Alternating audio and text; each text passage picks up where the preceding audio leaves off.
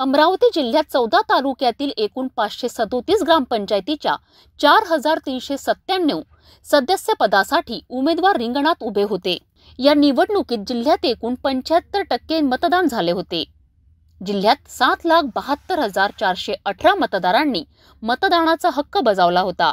या दरम्यान कोणतेही अनुचित प्रकार घडू नये म्हणून फ्रेजरपुरा पोलीस निरीक्षक पुंडलिक मेश्राम यांच्यासह शेकडो पोलीस तैनात होते. भातकुली तहसीलमध्ये सोळा टेबलवर मतमोजणीला सुरुवात झाली. मतमोजणी केंद्रामध्ये ग्रामपंचायत मतमोजणी प्रतिनिधी यांना ईव्हीएम मशीन दाखवून मतमोजणी करण्यात येत आहे. दुपारी दोन वाजेपर्यंत जेमतेम अनेक ग्रामपंचायत निवडणुकीचा कॉल हाती आला होता. कुठे दहा वर्ष सत्ता असलेल्या सदस्याचा रेकॉर्ड मोडून काढला आहे. भातकुली तहसील चपराशीपुरा येथे मतमोजणी परिसरात शेकडो ग्रामीण समर्थकाच्या गर्दीचे चित्र दिसून आले. निवडणूक कॉल हाती आला असता अनेक विजयी उमेदवारासह समर्थकांनी या ठिकाणी एकच जल्लोष केला. आज ग्रामपंचायतच्या आठ सीट विरोध झालेला तर एका सीटचं इलेक्शन झालेलं आहे. त्याच्यामध्ये सौ श्रद्धाताई मनीष देशमुख या चारशे सदुसष्ट मत घेऊन निवडून आलेल्या आहे अ, जे अविरोध सगळे उमेदवार निवडून आलेले आहेत आणि विजयी उमेदवार हे एका ठिकाणी बसून सगळे गावाच्या दृष्टीने गावाचं विकासात्मक दृष्टिकोनातून समोरच्या पाच वर्षात जी कामं होईल ते सर्वांच्या संगनमताने होईल असे सगळे गावकरी मिळून ठरवणार आहे आणि सगळे नऊ उमेदवार एका ठिकाणी बसून गावाच्या विकासाच्या दृष्टिकोनातून एकत्र बसून ठरवणार आहे पालकडू जळका एकता पॅनल. जळका पॅनल. गेल्या दहा वर्षापासून एक हाती एकाच व्यक्तीच्या हाती सत्ता होती. परंतु गरिबाच्या समस्या गावात अनेक होत्या. आणि त्या समस्येचा नारा घेऊन आम्ही त्या जनतेपर्यंत पोहोचलो आणि त्यांच्या असलेल्या समस्या आम्ही सातत्याने निराकरण करण्यासाठी प्रयत्न करणार आहे. त्यांच्या कोणत्याही योजना असो त्या योजनेचा कसा लाभ भेटता येईल? गावातील नाल्या कशा उतरल्या जाईल? गावात रोड कसे केल्या जाईल? अनेक विकासाचे कामं गावात कसे आमच्या हातून होईल? तेही गोरगरीब जनतेच्या वस्तीमध्ये.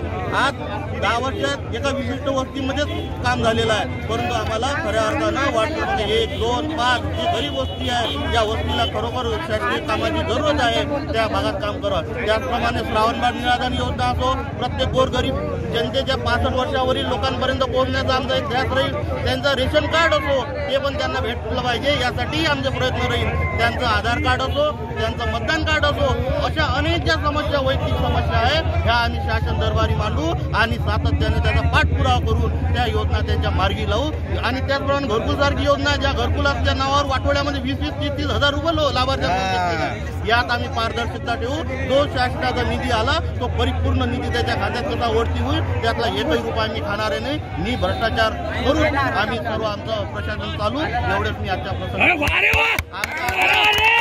विजय जो असून समोरच्या पार्टीनं आमदाराला पाळासाठी वीस वीस तीस तीस लाखाचा खर्च केलेला आहे. परंतु आम्ही हा जन जनतेच्या जनशक्तीच्या आशीर्वादाने आज आम्हाला बहुमत मिळालेलं आहे आणि हे टिकून ठेवायचं ठेवण्याचा आम्ही प्रयत्न करू. आम्ही कोणतंही अर्थकारण यामध्ये केलेलं नाही. जनशक्तीच्या आशीर्वादाने आज आमचे उमेदवार जवळपास दोनशेचा लीड आहे आमच्या उमेदवाराला. एक आमची सीट सुद्धा आमच्या हातानं पडली त्याचं आम्हाला दुःख आहे. तेही सीट निवडून आली असती परंतु माझ्याकडे सातत्यानं अमरावतीचे कामं इकडे तिकडे मी वेळ देऊ नाही शकतो त्या वार्डाले. त्यामुळे आमची एक सीट गेली ते महत्त्वाचं म्हणजे सर्वात तरुण आणि सुशिक्षित उमेदवार आमच्या पॅनलचे निवडून आलेले आहे. गावाचा विकास करणे गावातलं अतिक्रमण काढणे गावात पिण्याची पाण्याची सोय करणे रस्ते दुरुस्त करणे आणि मुलांसाठी शैक्षणिक कार्यक्रम राबवणे. ह्या गोष्टी त्यांना करायच्या आहे आणि प्राधान्याने ते करतील. आजपर्यंत गावाचा विकास खुंटलेला होता. पण आता हे नवीन जे नवीन रक्ताचे जे मुलं आलेले आहेत जे सदस्य निवडून आलेले आहेत ते आणि सुशिक्षित आहेत.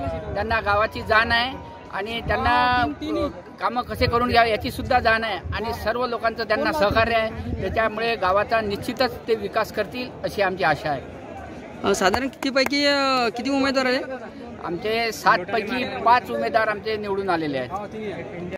ग्रामपंचायत. आणि आमचं संपूर्ण संपूर्ण पॅनल याच्यामध्ये आलेलं आहे.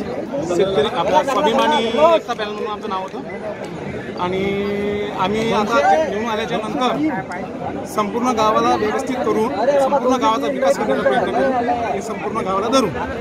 एवढं तुमचं नाव काय? माझं नाव प्रवीण अरुणराव भातकुली तहसीलदार तसेच निवडणूक अधिकारी नीता लबडे या अधिकारी कर्मचारीसह सर्व ग्रामपंचायत निवडणूक मतमोजणीमध्ये व्यस्त दिसून आल्यात. आतील महत्त्वाच्या सूचना माईकच्या माध्यमाद्वारे बाहेर संदेश देत होत्या. आणि आता मतमोजणी जी आहे ती शेवटच्या टप्प्यामध्ये आहे.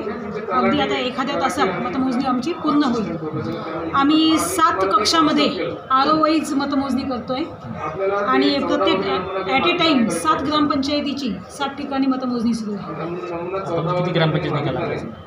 आतापर्यंत जेवढे नमुने मागितले तेवढे मी पत्र तुम्हाला केलं तेवढेच नमुने बनवायचे आहेत. सगळ्यात पहिले आपण सदतीच बनवायचे आहे. जवळपास एकोणवीस ते वीस ग्रामपंचायतींचा निकाल आम्ही जाहीर केलेला आहे. सर्व उमेदवार आणि त्यांचे प्रतिनिधी यांना आम्ही ग्रामपंचायतची अनाऊन्समेंट करून त्यांना आतमध्ये घेतोय.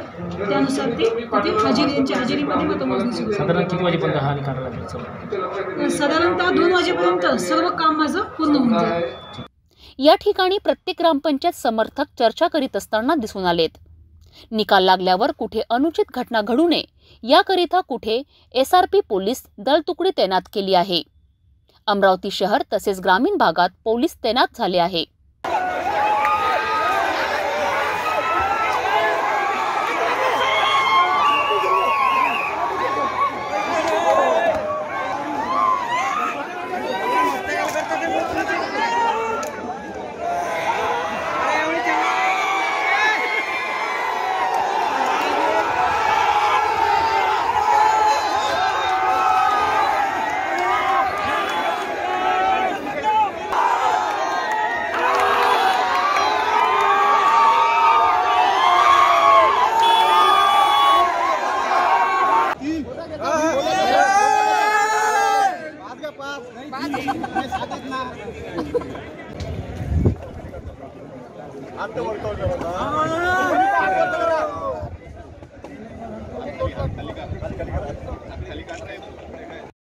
भातकुलीहून सिटी न्यूज प्रतिनिधी गजानन खोपे.